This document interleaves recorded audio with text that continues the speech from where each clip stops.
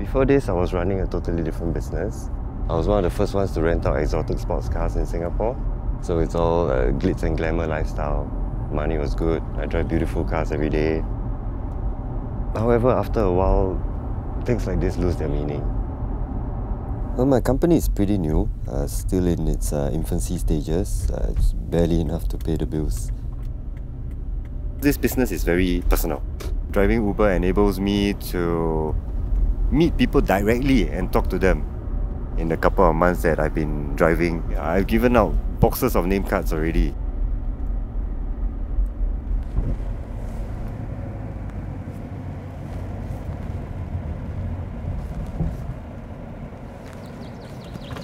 I am Chris Cheah and I'm an undertaker and I run my own funeral services company, Westbound Funerals. Cases that involve children really get to me because I feel they are very innocent. Children look very beautiful when they're lying there. They look, they look like they're alive. They're not wrinkly, they're not dried up. They just look like they're sleeping. You can really see the pain and sense the agony in their parents' eyes.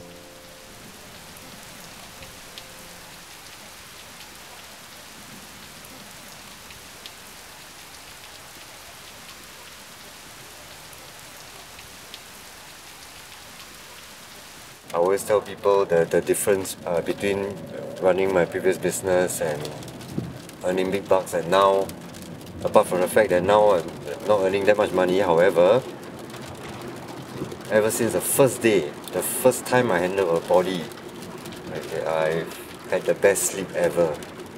And I've been sleeping soundly for the past seven years. So this is your favorite top. Okay, your mom gave it to us. We're gonna put it on for you, alright?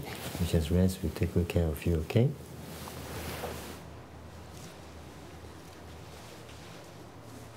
Uh, to get over my fears, I would talk to the deceased, treat them like they are you know, just having a good sleep. That helps. It helps to make it seem less scary. Because sometimes to work alone in the embalming room, prepping the body for sending back, it may or may not get creepy sometimes. I mean, after a while, you get, you, get used to it, it's fine.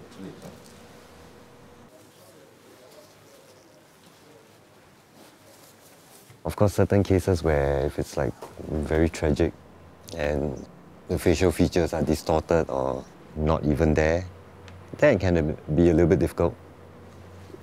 I, I think it's something that, that we human beings are wired to, to do, to connect something with a face. So without one, it's a bit difficult, but I still try. I still try. In fact, they, they, they need more of our help because everyone's more frightened, I guess.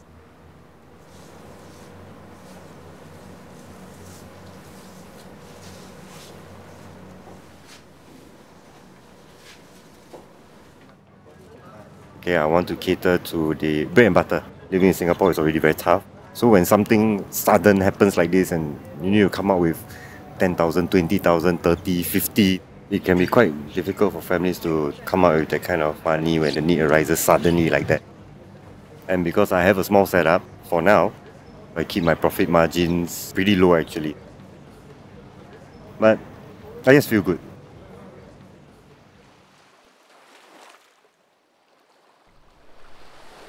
It's like a big ball of petals uh, in which I put the remains inside of it. I do this kind of sea scattering because the ashes dissipate away slowly on top of the petals. Working this line for so many years has definitely taught me humility. You need to set aside your own issues. No matter how tired you are or just not feeling it that day, you gotta put everything aside and focus on the family, focus on the job, and take care of the deceased. I learned to put other people first.